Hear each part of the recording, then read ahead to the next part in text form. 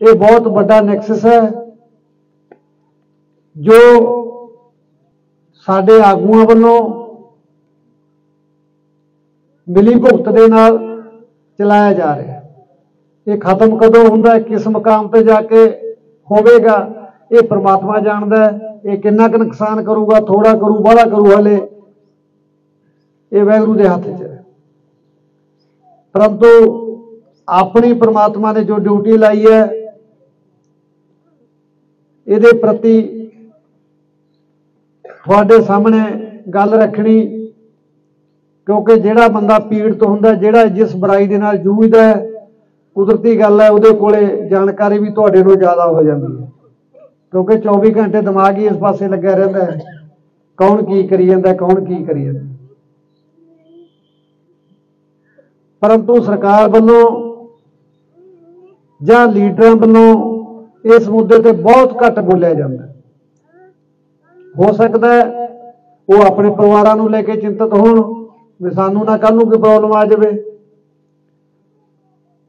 ਇਹਦੇ ਉੱਤੇ ਬਿਆਨ ਬਹੁਤ ਘੱਟ। ਇੱਕਾ ਦੁੱਕਾ ਲੀਡਰ ਬੋਲਦੇ ਆ?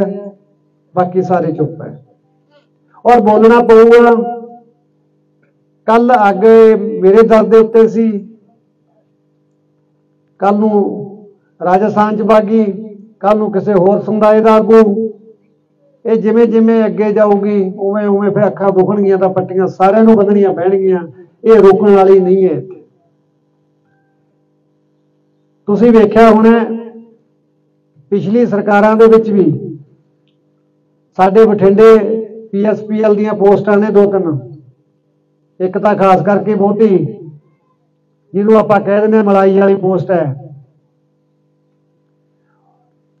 ਉਸ ਪੋਸਟ ਤੇ ਅਫਸਰ ਲੱਗਣ ਵਾਸਤੇ ਪੋਲੀਟੀਕਲ ਲੀਡਰ ਮੈਂ ਲੜਦੇ ਵੇਖੇ ਆਪਸ ਦੇ ਵਿੱਚ।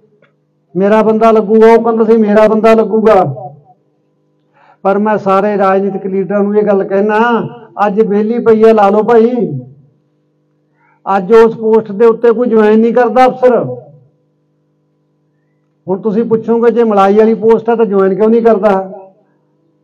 ਕਿਉਂਕਿ ਫਰੋਤੀ ਦੀ ਕਾਲ ਆਉਂਦੀ ਹੈ। ਫਰੌਤੀ ਦੀ ਕਾਲ ਵੀ ਅਫਸਰ ਦੇ ਘਰ ਵਾਲੀ ਦੇ ਫੋਨ ਤੇ ਆਉਂਦੀ ਹੈ। ਉਹਦੇ ਸਕੂਲ ਜਾਂਦੇ ਬੱਚੇ ਦੀ ਫੋਟੋ ਵਿਖਾਉਂਦੇ ਨੇ ਅਗਲੇ ਵੀ ਇਹਨੂੰ 1:30 ਵਜੇ ਵਾਪਸ ਲੈ ਕੇ ਜਾਣਾ ਕਿ ਨਹੀਂ? ਆ ਹਾਲਾਤ ਸਾਡੇ ਪੰਜਾਬ ਦੇ ਲਾ ਐਂਡ ਆਰਡਰ ਦੇ ਹੈ। ਜੇ ਮੇਰੀ ਗੱਲ ਝੂਠੀ ਹੋਵੇ ਤਾਂ ਮੈਨੂੰ ਸਜ਼ਾ ਦਿਓ ਇਸ ਗੱਲ ਦੀ।